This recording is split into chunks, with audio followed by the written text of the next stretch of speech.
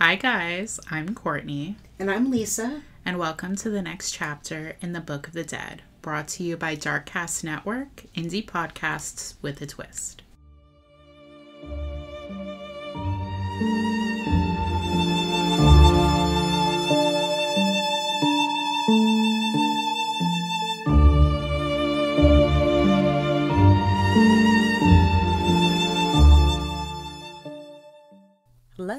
Is this thing on? Okay, good. I am sorry to interrupt your listening pleasure, but my name is Tiffany, and I'm here to tell you about my podcast, True Crime Connections. It's an advocacy podcast that talks with real survivors about real shit. This is the place you want to be if you've been in a toxic relationship or anything tragic has happened to you and you're looking to find your strength and healing. No two episodes are alike, but they all give you useful tools that you can take with you. So make sure to find me on your favorite podcast platform, or you can go to truecrimeconnections.com and come join the Hope Building community. See you there.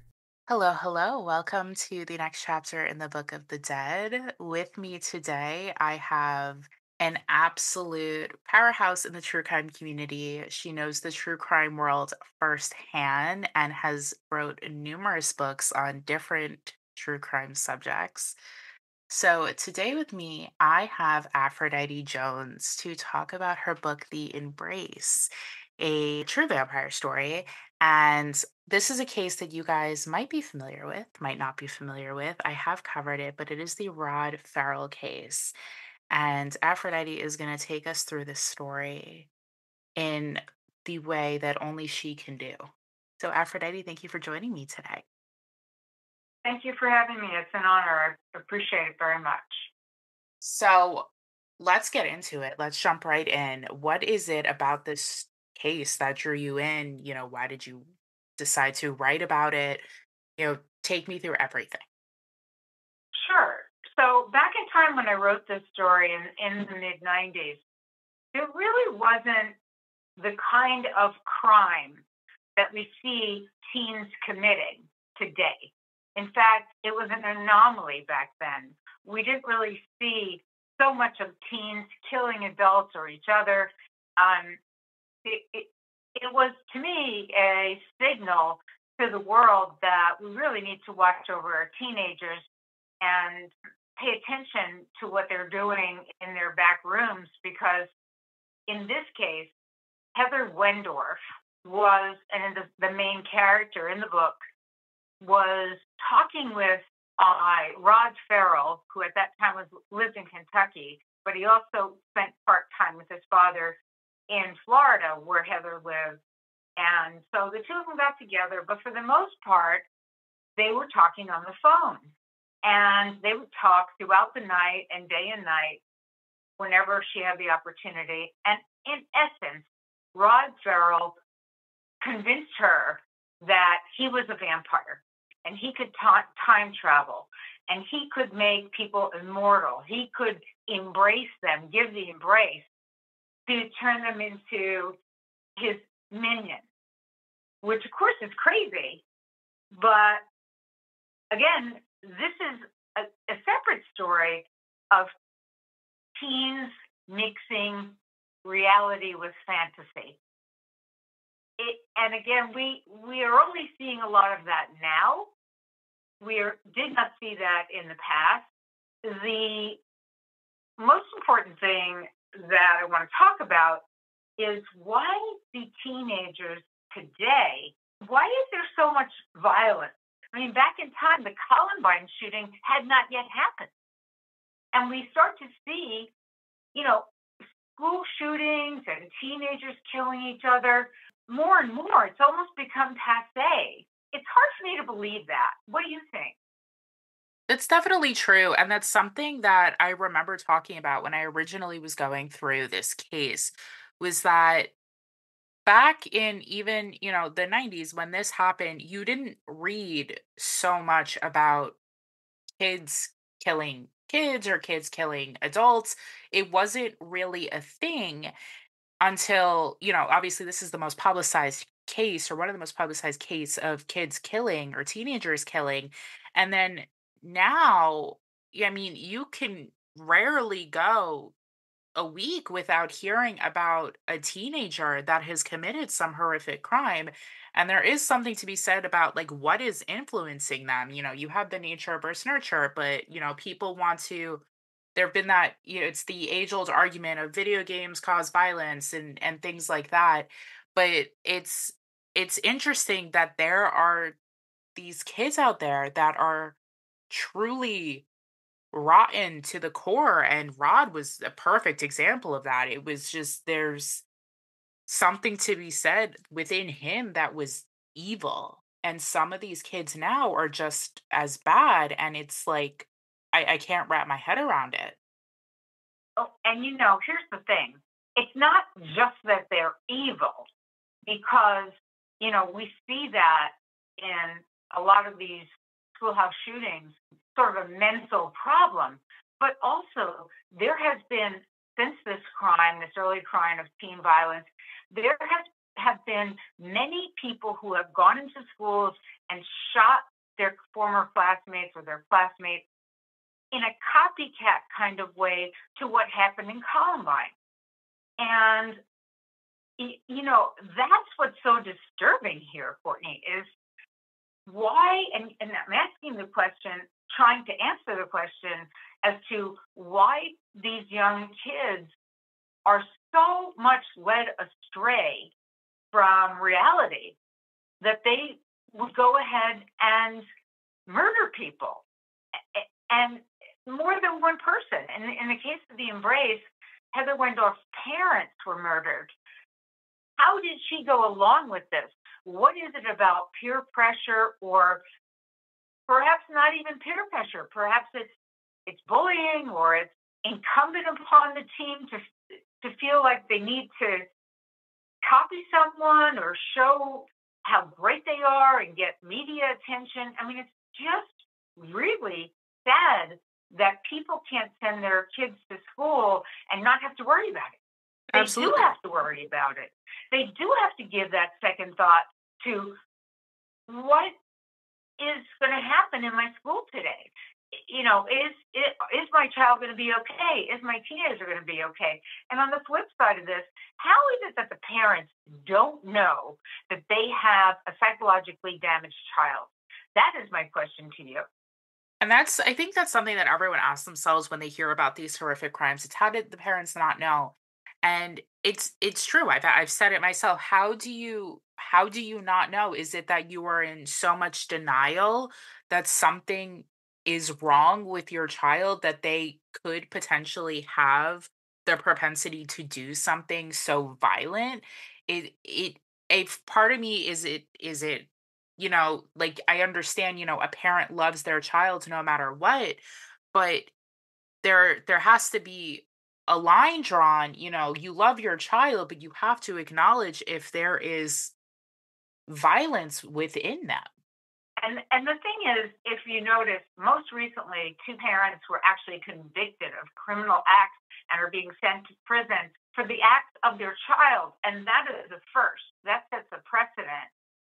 But in that case, you have the mom not only give her son a gun, but also bringing him to school, allowing him to be in school, going to the school, knowing that he's drawing pictures of guns, pictures that are warped. And she, the mother was told by the school, you need to come get your son. He's acting very strangely.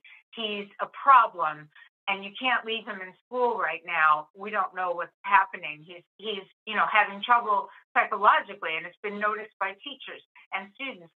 And that mother refused to take him home that day. She left him in school that day. Now, did she know her son was going to pull a gun? No. But did she was she responsible for giving him the gun, for allowing him to stay in school when she was warned that very same day that this is a problem? So it makes sense that she and her husband were convicted criminally. I wonder if other parents will be convicted since that precedent has been set because it just seems like some of them know that their kid is into guns, know that their kid has psychological problems. It's been reported before. We've heard that so many times. Why don't parents try to get their kids some help? For me, I think it's it's a lot of, you know, they don't they don't want to acknowledge there's a problem. I don't know if it's they don't want it to reflect negatively on themselves, but you're absolutely right that, you know, she in in that case, she essentially enabled the incident to happen. She literally put the gun in her child's hands. She ignored the warning signs, and for what? For someone to get hurt. And she sh- rightfully so was convicted of criminal charges in relation to that so was her husband and there are absolutely parents out there that have ignored the warning signs or dismissed the warning signs and allowed things to happen and they should have been held just as accountable as their children Yes. So the flip side of this is that in this story, The Embrace, it wasn't other teens that got killed but it was one guy, Rod Ferrell, who had convinced his minions, his followers, if you will, to do bloodletting, to do the embrace, to become a halfling first and eventually a, vampire with an immortal life. And the result of this was that Heather Wendorf allowed Rod Ferrell to come and get her said that she would like her parents dead, which many teenagers do and don't mean it. And the day she was, quote, embraced by Rod Ferrell, she went off with him and the group of teenagers he brought with him who also wanted to become vampires. And they headed to New Orleans, where, you know, Vampire Central with Anne Rice writing these books.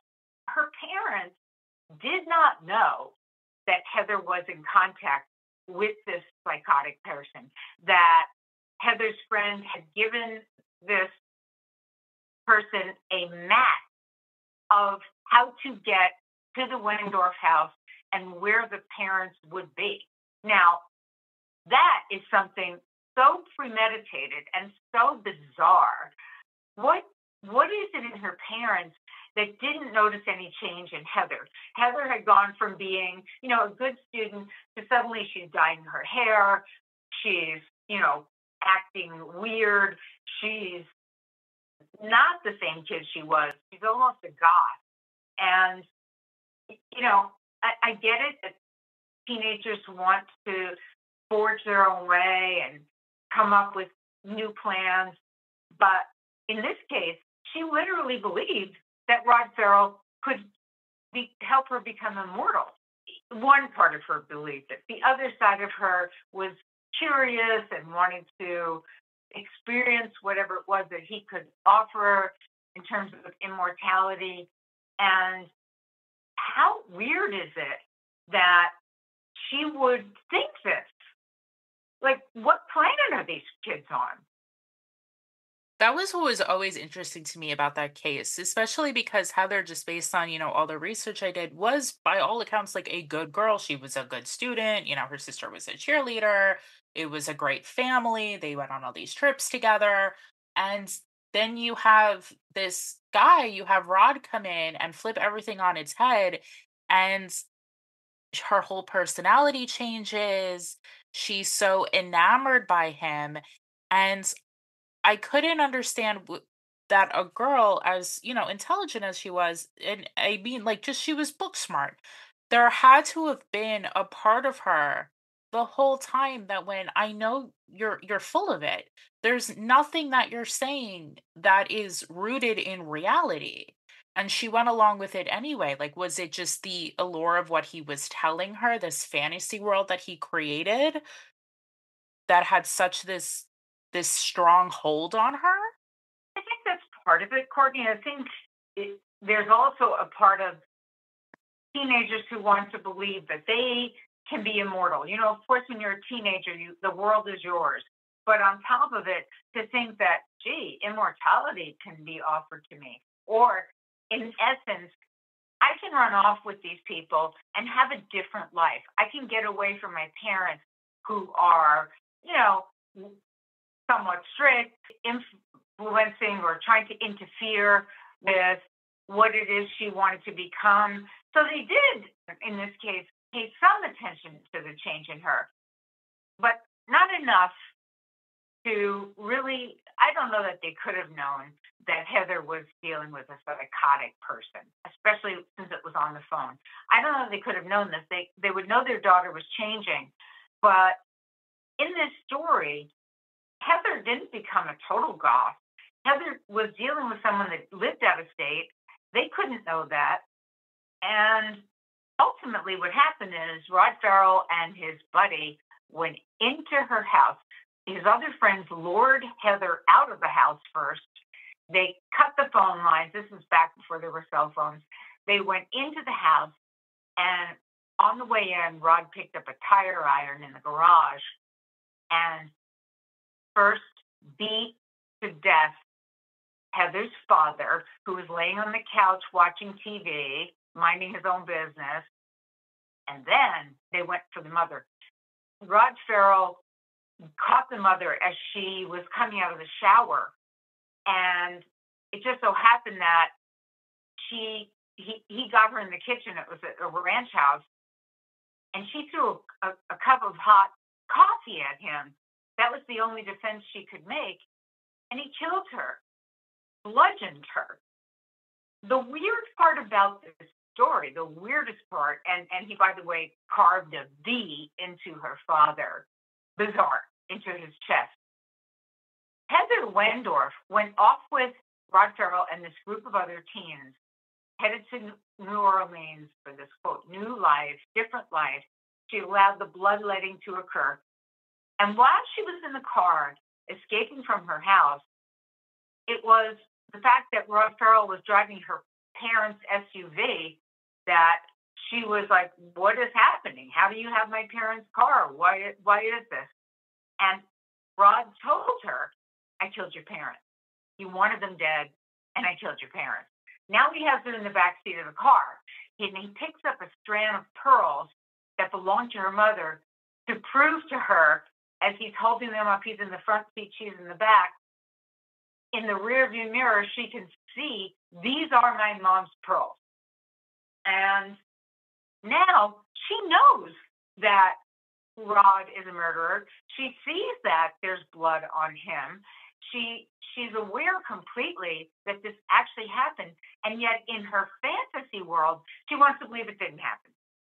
She wants to believe no, this was just him talking. He stole my parents' car. Um, he stole jewelry. This couldn't have happened. So it's not as though she really wanted her parents dead, nor did she believe that Rod was a psychopath.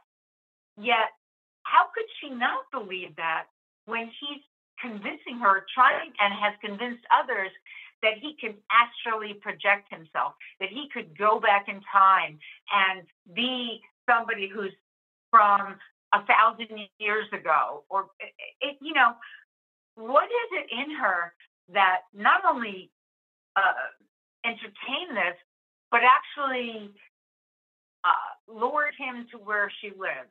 and was happy to have him come there to the, bring her to a cemetery where he did this embrace. But what what in her changed? And and the answer I have to this is like you say, she was going on a wrong path. Her parents didn't realize that. They looked at it as, oh, this is teen acting up. She wants to spread her wings. This is just teenage rebellion. This is what teens do. And they both went up bludgeoned to death. Now Heather goes into the is already in the car and and they're headed to New Orleans, but they make a number of stops along the way. Why doesn't she find a way to call somebody? Why doesn't she find a way to report this? And that's a big question in this story because, as it turns out, when they were stopped, and it was in Baton Rouge, one of the teens had called the mother and was scared. Now, why didn't Heather call? Well, Heather didn't call anyone, and that led police to believe that she was involved in this murder, that she really did want her parents dead, that it was her fault. And the weird part was when they were brought into the police station and were questioned, Heather Wendorf acted nonchalantly. She was blasé about the whole affair, which made law enforcement think all the more she was part of it, that she was a part of this group of teens who, in particular with Rod Ferrell, actually killed her parents. Later, when she was questioned by a grand jury, it wasn't until then when the grand jury um, asked her questions back and forth, the DA was listening, you know, questioning her in every possible way, that the grand jury said, you know what? She's innocent. She didn't know this was going to happen. She didn't know that her parents would actually be killed. And again, this is where the cross between reality and fantasy comes to roost. And I wonder how many other teens that are out there who, as you say, video games and the fantasy of that utilize that for committing violent acts, murder, because they're somehow caught up in a fantasy world. You know what I'm saying?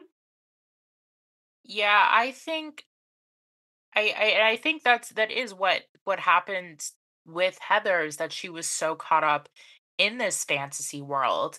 You know, kind of I guess maybe questioning like how far could this idea go this you know idea of running away this idea of vampires all that how could how far could it go and her her parents ended up being a casualty of this idea and i i wonder if she kind of convinced herself that you know her parents were fine and this this fantasy world was outside of that of outside of what had happened to her parents um kind of living in another world in her mind while this is happening. And with you know kids today i think that for some of them that is something that probably happens. They get so caught up in this idea of being greater than what they are and being on this different level than you know quote unquote regular people. I there there was a case in russia of two teenagers that went on a rampage because they believed that they were higher beings and they killed they killed i think 12 people and it was be all because of this idea that was in their brains that they were better than, that they were higher beings, that they were the equivalent to gods. And I think that it it was another case where fantasy and reality that line was completely blurred. Another issue that I want to talk about with with teens who go astray and become violent is what's happening right now on the college campuses throughout the country.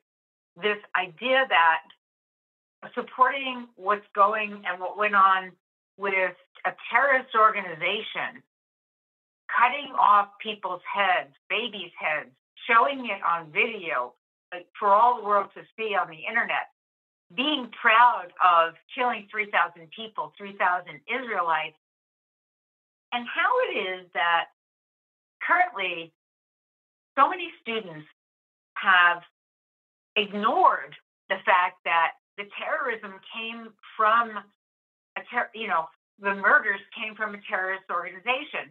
And how can it be that many of these students say i am hamas. Uh, I, I sympathize with the hamas hamas is not a terrorist organization uh, and go after the israelites go after jewish students um, violently all throughout the country i feel that this is another um, sense of a fantasy and a mix up between reality when a country has been invaded, has been terrorized, like we were in 9 11, when thousands of people were killed because of it. How is it that the people who are in colleges don't see it? Why is it that there's this strange element of, you know, some students raised the flag of another country and took down the American flag, burned American flags. you know, feel that America is responsible for this. We have nothing to do with the war there between Israel and Gaza. We aren't doing that. We're not killing anyone. What is happening with these students? How do they think that they're actually going to influence what Netanyahu does, what Israel is doing to fight back? Of course, there are innocent people who are casualties. Of course, there are horrors in Gaza. You know, it amazes me that these many young people want to be in denial, want to be in denial of 9 11, some of them want to be in denial about what America has to do with these murders. And again, I think it is a convergence of reality and fantasy. I do think that many of them don't even understand or know whether or not the original attack was real. Some of them deny it how does this happen in our country? How have we gotten to this point from, you know, almost 30 years ago where, where teen violence, violence on campuses, violence in high schools was unheard of? I mean, how far does this go when we look at what's going on today? Absolutely. And I think with the the age of the internet and the age of technology, it's it's gotten worse and it has. It's it's created a lot of problems. It's not to say we should all go back to the Stone Ages, but I think that there is there is misinformation and there's a lack of education around teaching our children's our children how to be safe and to recognize that there is false information and there is information that could be very alluring and very captivating and it may not be the right kind of information. It may not be totally true. It may be a warped truth. And I think there are a lot of kids that are ignorant to that and they are taking what they're reading online and what they're seeing online and what they're consuming in the media and it's being warped as it's being fed to them and that is i i fully believe is contributing to some of the violence because these kids you know being impressionable are hearing these things and they're agreeing with it because they have a lack of understanding and they're taking that idea and they're allowing it to kind of mold them and their personalities. And, and here you have the situation where not only are they protesting, but they're literally uh, going after Jewish students, harming Jewish students. Uh, you know, scaring Jewish students uh, who now are afraid to go to their campuses and finish out their college education. Graduations are being canceled, as you may know. And, you know, there have been, there's recently in Columbia University, these students who have literally broken into one of the buildings, a historical landmark that they're, they just are destroying. It's gone beyond just violence. It's how does this this is where coming back to the embrace and what heather wendorf uh, was involved with perhaps with misinformation or you know wanting to join a crowd you wonder of peers how many of these students who are or people who are protesting on all these college campuses and creating violence how many of them are going along with something, as Heather Wendorf did, not even knowing what the facts are, not not bothering, you know, being pamphlet missionaries who, again, would rather see Israelites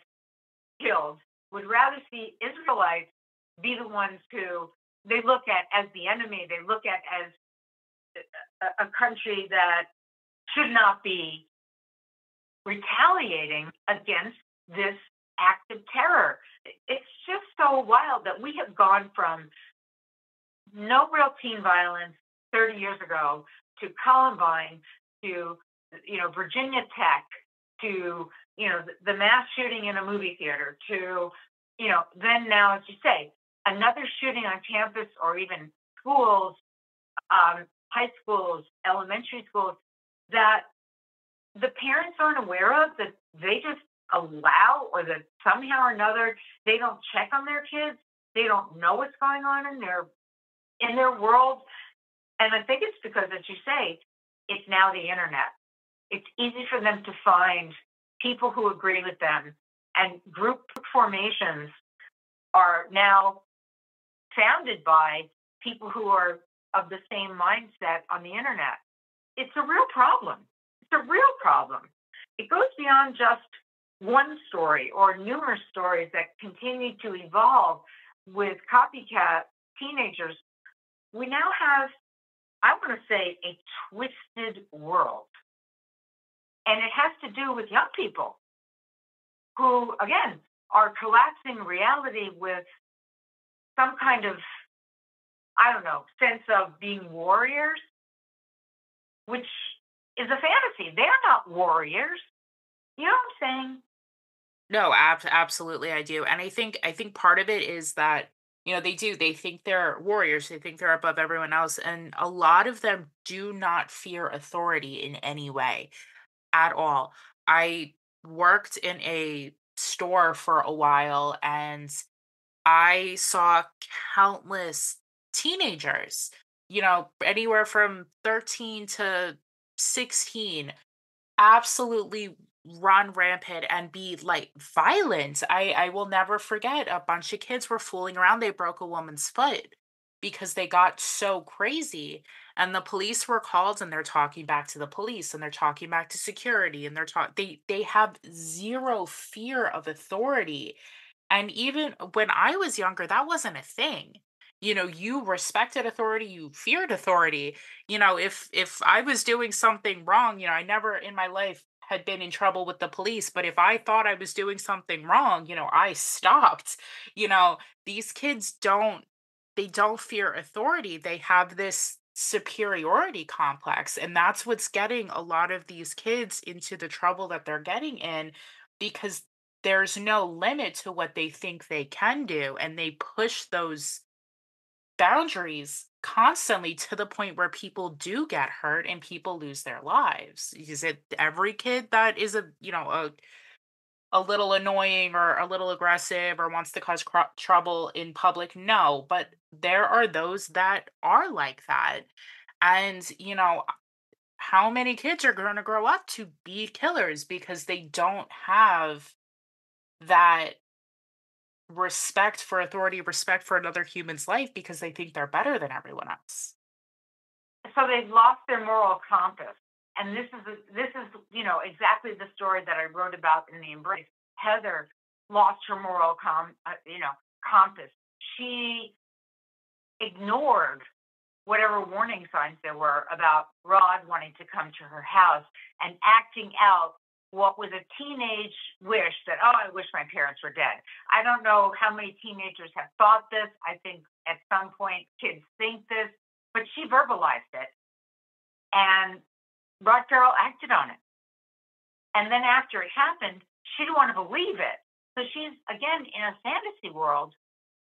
When she finds out that she is going to be possibly held responsible for this, she knows she can walk her way out of it. And she did. However, at that time, she was basically run out of town on a rail Nobody in her family, in the Wendorf family, felt that she wasn't responsible. People in the town of Eustis, where she was from, didn't didn't believe her, felt that she was responsible. She did not do any media interviews.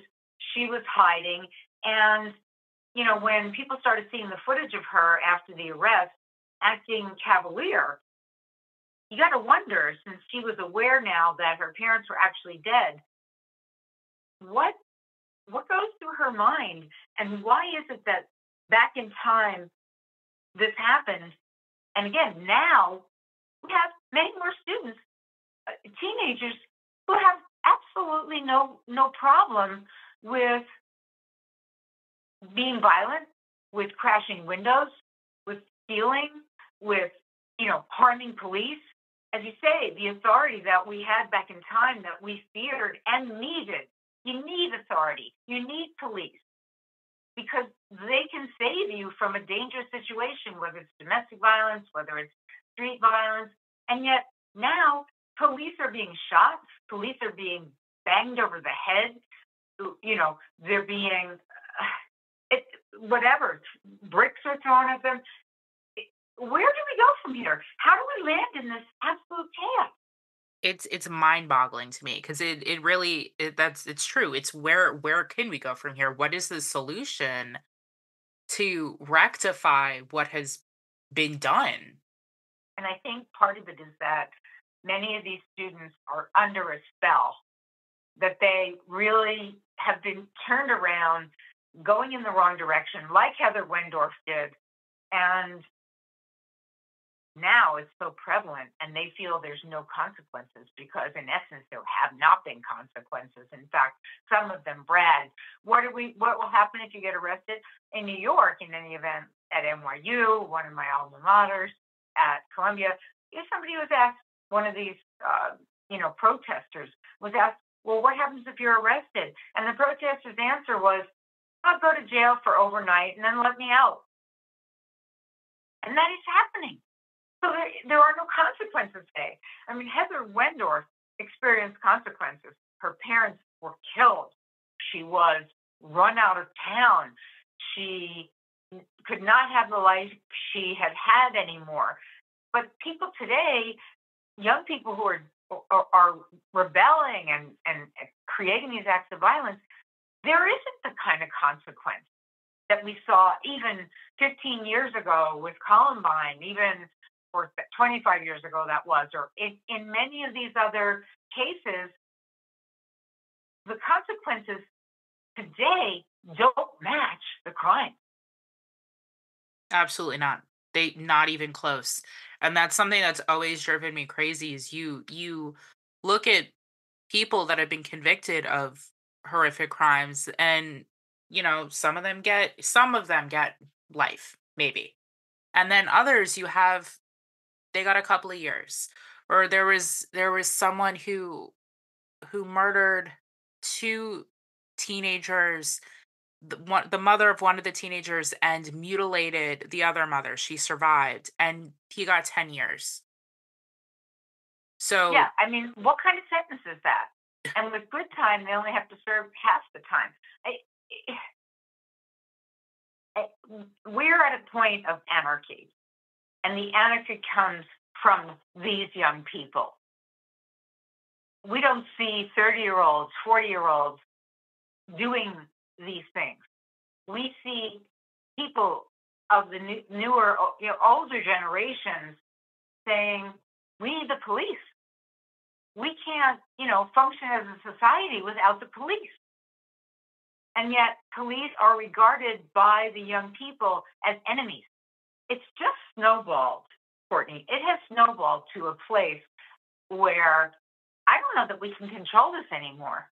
How do we turn it around? Honestly, that it it it's a question that I I genuinely could not tell you the answer because it's the it, it is out of control. It is. It's out of control. You're right. It's absolute anarchy. And in in the case of, you know, Rod Ferrell, you know, he got the consequences that matched the crime. You know, there was a fear of police, there was a feel of fear of authority. And nowadays there isn't that. It doesn't exist. And, you know, you you know, any kid or teenager can look up a crime online and see that this person only got 10 years or this person only got 5 years or they got they they got pleaded down to lesser charges. And so it it makes it seem as if horrific crimes are quote unquote not a big deal. Yes. So in the case of Rod Ferrell, he was after a trial, he was sentenced by a jury to death. Later that was commuted by governor of Florida to life without parole. And now we're in a place where Rod Ferrell is actually filing appeals to get out. So even though he murdered Heather's parents in the most violent way, he thinks it's okay now. I mean, with all that's going on, on in the world, maybe he'll get an appeal. Maybe he'll get out. And again, I, I just I can't imagine that somebody would go in a house, premeditate this, and wind up murdering, slaughtering Heather's parents and think that it's all okay now. I'm I could get out. at the same time, I interviewed Rod while he was in jail in a holding cell during the time of his trial. And Rod told me that he was not only immortal, but he identified with Isis and other gods and figures from mythology and was talking to me about this as if it was real. Like he's sitting behind bars, he's being tried, and the death penalty is on the table, and he's still in this fantasy world. It was absolutely bizarre at that time. Now we see this on a regular basis and these young people feel there are no consequences. They can get away with whatever they want to get away with. They can smash and grab. They can steal without being uh, punished if they steal under ten thousand dollars worth of goods. I don't know. I just I just wonder how this is going to get turned around. How do we turn the clock back in time? How do we get back to before Columbine? Is it possible? I think it starts with parents being mindful of what's going on with their children. And I don't necessarily mean being like a helicopter parent because, you know, y- you can't suffocate your kids, but being mindful, you know, what are they doing on the internet? Are they spending all hours of the night on the computer? Okay, but why? What what is so captivating on the computer that they're finding. You know, just have that honest conversation. What are you doing on the computer? What kind of websites are you on? You know, do some research, find out what's going on. If your kid has gone from bubbly and outspoken with this big personality to more sullen and withdrawn, you know what is going on there is no shame in therapy talk to, have them talk to a therapist you know, get that education, find out what is going on because nothing is going to get close to beginning to start getting better if parents don't know what's going on with their kids and if kids don't start developing that healthy fear and respect of authority.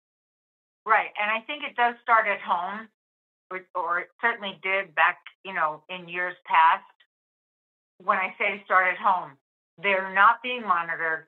You're right, not to be helicopter parents, but what about going on Facebook and seeing who they're involved with, what they're posting? Many of them post manifestos. Um, they're proud of it. They want to kill.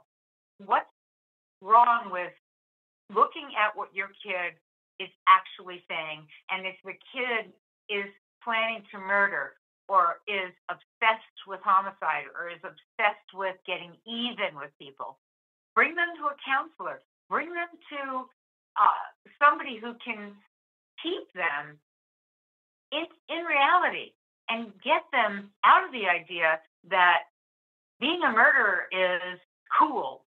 You know, this idea that, oh, if I, you know, like Rod Ferrell wants to be immortal, if I do this, Klebold and Harris became immortal in what they did. So it's in the media, it's talked about, they're talked about one of the things the media has done, which is positive, is that we don't hear about the killer as much as it used to be. They're not getting the attention that they think they're going to get by um, a schoolhouse shooting. The media has wised up to this and has no longer given them the status, if you will, of being 15 minutes of fame or more than 15 minutes of fame, of being, you know, analyzed and, and almost cajoled by the media back in time. I think that's one good thing. But I mean, in the case of Heather Wendorf, I will tell you this. Even though she was not convicted of murder, she was not tried for the murder of her parents. Her sister got up on the stand and said Heather did make that statement that she wanted her parents killed. That was something that was mind blowing and beyond that, after this was all over, after I had my book out, which Heather, you know, worked with me quite a bit. After all of that, when it, when the book was out, I called her. She was now in college in a different state, and she was talking about her new life, and everything was fine. She seemed to not care at all that her parents were gone. Um, in fact, this is the thing: she told me, "Oh, it's all good. I have a new boyfriend. I have a new cat, a new cat. I'm happy. It's good." I said, "What's the name of the cat?" She said, "Lucy." Uh, oh, that's great. You know, I'm glad that you're there. I don't know what else to say to her. You know, she's lost her parents for God's sake from the time she was a teen. And you know what she tells me? She says, "Yeah, Lucy. It stands for Lucifer." Now think about that for a minute. If you In could see words, my face right now, like, oh my God. this is where you know you have to really think.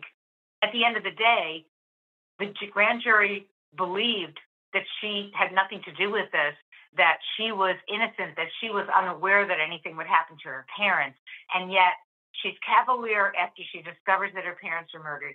She doesn't do anything about it after she sees Rod Ferrell holding up her mother's pearls. She goes along with the program in the car, and after it's all said and done, she's naming her cat after Lucifer. She's still into the devil. She's still into Satan worship. What the heck was going on back then? That's something that I was grappling with that I, I couldn't even tell anyone about because the book was done and we didn't have podcasts back then. You know, I had already done interviews about the book prior to this and I couldn't go back and and tell anyone this. But it it, it occurred to me that man, this girl is evil. She was not innocent in all of this, not at all. Looking back, I remember, you know, doing the research, covering the story, and I kept going back and forth on whether or not Heather had any sort of culpability in this, you know, whether or not she was complicit in this in any way. And I really I I hemmed and I hawed and I I really couldn't definitively say whether I believed she had absolutely nothing to do with it or was completely oblivious to what was going to happen. And hear hearing that, wow, that that changes that absolutely changes everything. Right, it does. And it brings me back to the fact that she got away with it. She had no consequences. And, you know, as this has evolved over the years, who else had no consequences? Who else has done things, and as we are today, creating senseless acts of violence, thinking they can get away with it, and, and many of them do today. You know, not for schoolhouse shootings, but when we look at what's going on right this minute, you think these students, these people who are protesting, feel they're going to pay the price for this? Absolutely not. Absolutely not. And and that's why they get wilder and wilder.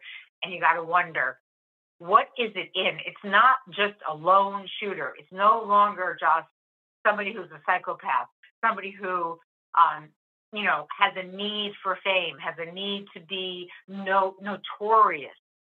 No, no, no, no. Now we have people that are joined together and and literally just committing chaos, anarchy. It's it's something that really has affected me. That really, you know, and I wrote another book called Cruel Sacrifice about four teenage girls who murdered a 12 year old. At the time that I wrote that, again in the 90s, prior to writing The Embrace, it was unheard of that teenage girls would kill a 12 year old. It was unheard of. There was nothing like that. And they were an anomaly. They were considered, you know, something, people that were psychotic, that were a part of peer pressure, that, I mean, those, those girls were given, uh, the main two girls were given 50 years and 60 years. I thought that in writing these books about teen violence, I thought that it would be a cautionary tale for parents, for anyone who's reading my work. I have a huge following. My, you know, my readers are very into what I write. It's not just young people. And there are young people in college who read this, these books and said, you know, basically, wow, like, how does this happen? Or we can't believe it. And now they have to worry about being in school and thinking that a shooter could come in at any time. And what about all the students? There was one student I talked to um, about campus shootings who in the interview just said, "Yeah, we've had them. We had one of them on campus. We, you know, but we just watch ourselves and we're much more cautious." Like they're accepting it. It's crazy to me. It, it's genuinely crazy to me, like how much has changed and how much teenagers and young adults and kids have changed from what they used to be. It's really obviously a serious issue has become serious when so many colleges have this going on, when students are joining other agitators and just creating a world where nobody feels safe anymore. You know, as juveniles, and they feel they'll be tried as juveniles, even if they have committed murder, they feel oh, it won't be, it'll be a short sentence. I, I just don't know where to go from here. However, I will say that I think people who read my book, The Embrace, or my other book, Cruel Sacrifice, will start to look at what their teens are doing much more so. We'll, we'll start to monitor, but also keep teens in the house. You know, had Heather been monitored more so, she would have been able to get out of the house as a teenager and just take off. I know that that's something I couldn't do back in time. Could you? Oh, absolutely not. Absolutely not. And I I grew up with someone that could. And I remember she she had just run away. It was, you know, she she was never getting into like real trouble or anything, but she would run away when she would get into it with her mom. And I will never forget my mother after having listened to my friend's mom cry and be worried sick over her daughter, went up to my friend after she came home and was like, you know what? I have to thank you because Courtney will never do what you've done. She will never act the way that you do. And she was right. I never would. I I never went gallivanting off all over town. You know, my my mother knew where I was. If I was going to be out late, I called her, said, "Hey, I'm staying out late. You know, this is who I'm with." And kids don't do that now. They go where they want, when they want, and half the time the parents drop them off wherever, and it's okay. I'll see you whenever you decide to come home. It's like, no, your 16 year old should be home by like nine o'clock and safe, not out till two, three, four o'clock in the morning. And again, this is why I say it does start at home. There is eh, eh, there's a, a responsibility that should be uh, incumbent on parents to watch, to enforce rules, to even if there's not a law that is going after these these young people, there should be parents that, like your mother, have warned you, have shown you what it is that can happen if you go down the wrong path. And yet, what's happening today has a lot to do with peer pressure. It's like, oh, okay, other people are doing it. I'll join in. It's cool. I'm I'm a cool person now. And I think in the embrace, that is exactly what happened.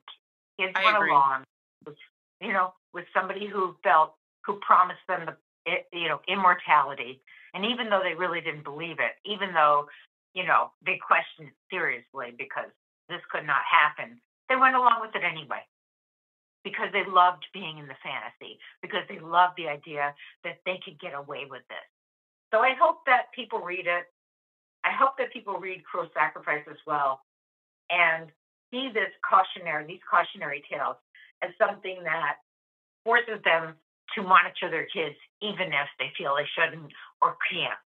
100% and i i will have the links they are available on amazon to cruel sacrifice and the embrace the embrace i just finished. It is not only a phenomenal read but it is a cautionary tale and i really encourage parents and teenagers to read it.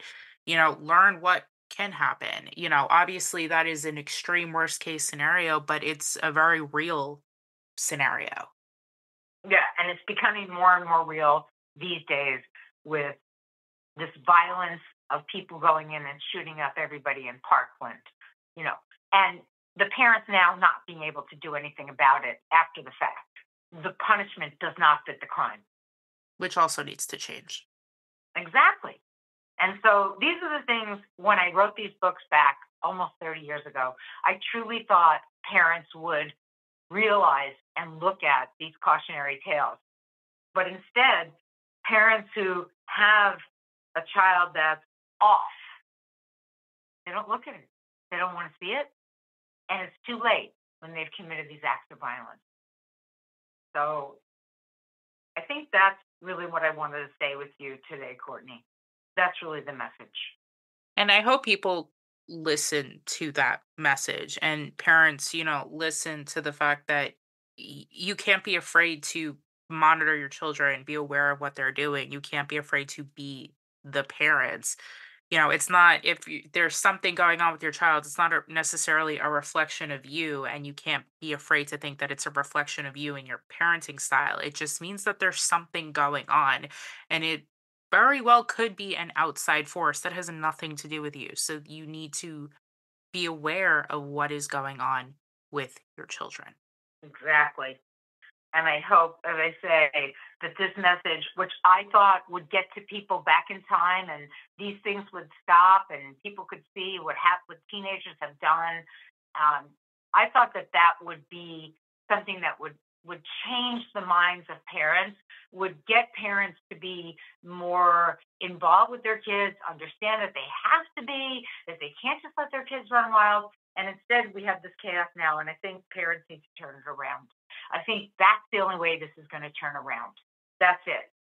I agree. I, I absolutely agree. There needs to be a change. As I said, I will have the links to both books down below. You can get them on Amazon. And thank you, Aphrodite, for joining me today, having this really powerful conversation that I do think a lot of people need to hear. It's a tough conversation and people need to be open to it. Parents need to to really listen to it because there are terrible things going on in the world and it, it does start at home. So, Aphrodite, I thank you for bringing attention to this. Well, thank you, Courtney, for having me on. And I really appreciate the opportunity to try to influence parents, adults, to get them not to be afraid of their kids and what they're doing. As you say, that's the way this has to happen. That's the issue. And I appreciate you having me on today, Courtney. I really do. It's an honor as always. As always, guys, thank you so much for listening, and I will see you in the next chapter of the Book of the Dead. Bye, guys. Much for listening to this chapter of the Book of the Dead. And don't forget that you can always connect with us on Instagram. You can connect with us on Twitter, and you can absolutely connect with us on Patreon. We also have a merch store as well that we have frequent discount codes coming out for so that you guys can get merch hand drawn by myself at a better cost. We hope you have a lovely rest of your week and just remember please be kind. And don't forget to always stay safe, stay curious, and stay vigilant. Bye, guys. Bye.